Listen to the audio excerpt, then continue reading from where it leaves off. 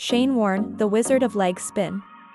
Shane Keith Warne, September 13, 1969 to March 4, 2022, was an Australian cricketing legend, widely regarded as one of the greatest bowlers of all time.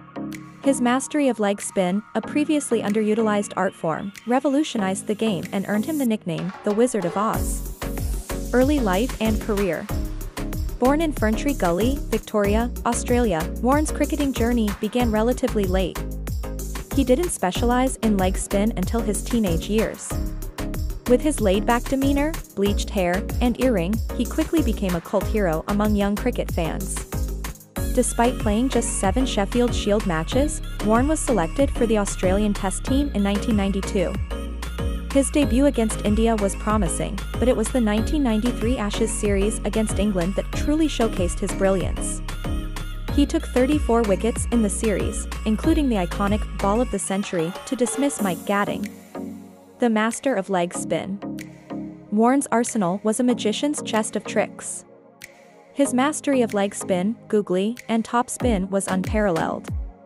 He could deceive batsmen with his subtle variations in flight, pace, and spin. His ability to extract prodigious turn and bounce from the pitch made him a nightmare for batsmen. Shane Warne, a cricketing icon, claimed 708 wickets in 145 test matches at an impressive average of 25.42. His ODI career also saw remarkable success, with 293 wickets in 194 matches, averaging 25.74. Renowned for his mastery of leg spin, Warne's impact on the game was unparalleled, transforming the art and securing his legacy as one of the greatest bowlers ever. Records and Achievements Warne's career is adorned with numerous records. Most test wickets, he held the record for the most test wickets for many years. 1,000 test wickets, he was part of the exclusive club of bowlers to achieve this milestone. World Cup victory, a member of the Australian team that won the 1999 Cricket World Cup. Indian Premier League, IPL he captained the Rajasthan Royals to victory in the inaugural IPL season. Beyond cricket, Warne's impact extended beyond the cricket field.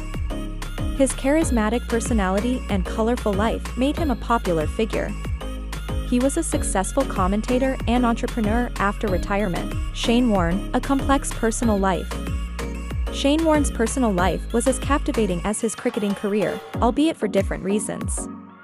Married to Simone Callahan in 1995, the couple shared a decade of life together, producing three children, Brooke, Jackson, and Summer. However, Warne's infidelity and public scandals eventually led to their divorce in 2005.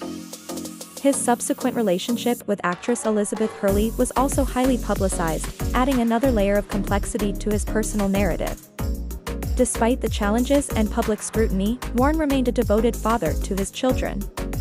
Warne's life off the field was often as eventful as his on-field performances, making him a figure of both admiration and controversy. Tragic demise. On March 4, 2022, the cricketing world was stunned by the news of Warne's untimely death at the age of 52 due to a suspected heart attack. His loss was deeply mourned by fans and legacy. cricketers alike. Shane Warne's legacy is etched in the annals of cricket history. He transformed leg spin from a dying art into a potent weapon, his impact on the game, his charismatic personality, and his tragic demise ensure that his name will be remembered for generations to come. Thanks for watching. Like share and subscribe.